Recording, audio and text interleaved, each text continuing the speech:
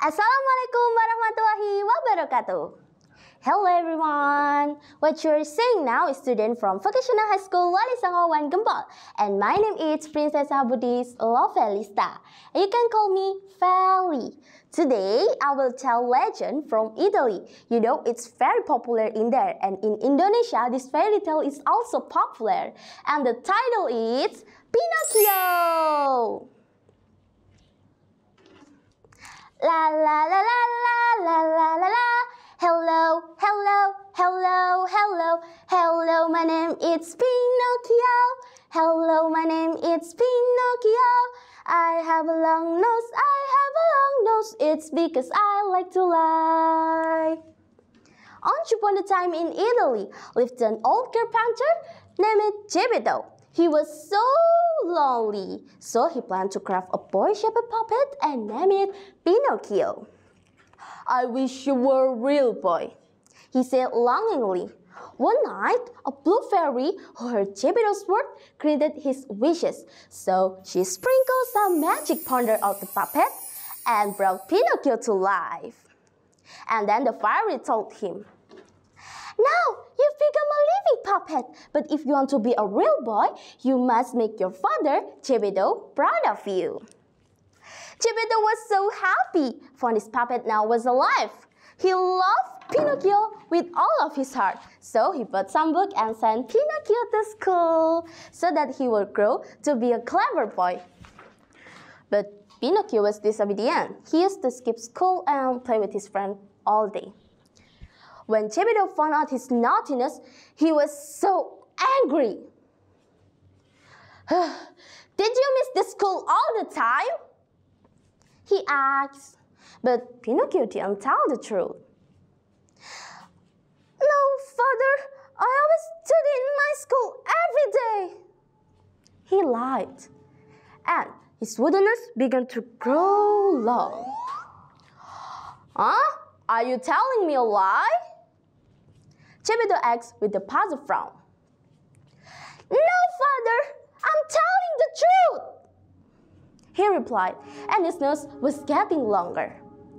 Every time Pinocchio told a lie, his nose was getting longer and longer. Geppetto had to ask his friend, the woodpecker, to pack Pinocchio's nose to normal size. Every time he did a bad thing or naughtiness, Pinocchio used to give his word that he would be a good boy next time. In a little while, Pinocchio forgot all his promises.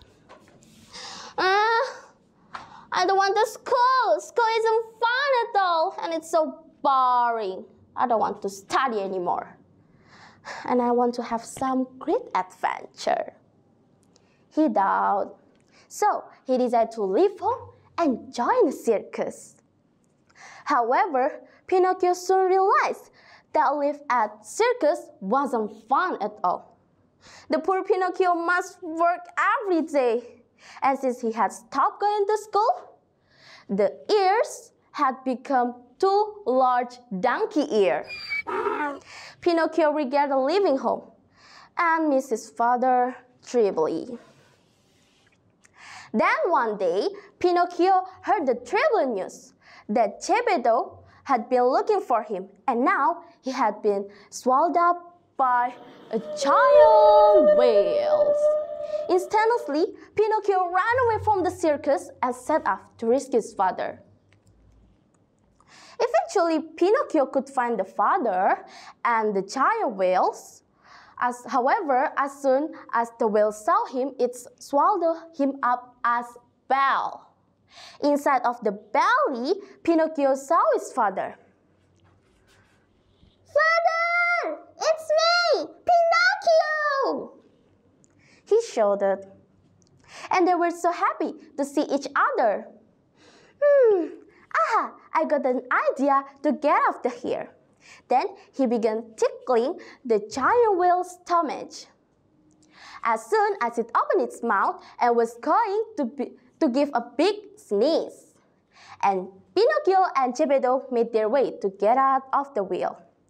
At the end, Pinocchio and Geppetto got home safely. The blue fairy was so happy with Pinocchio's courage.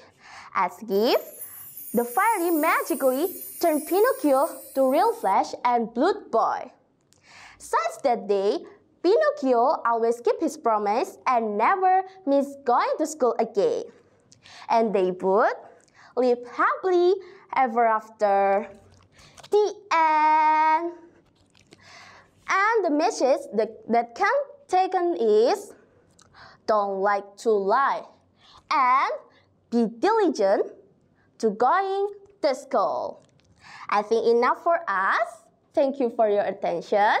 Wassalamualaikum warahmatullahi wabarakatuh. Geppetto and Pinocchio says goodbye.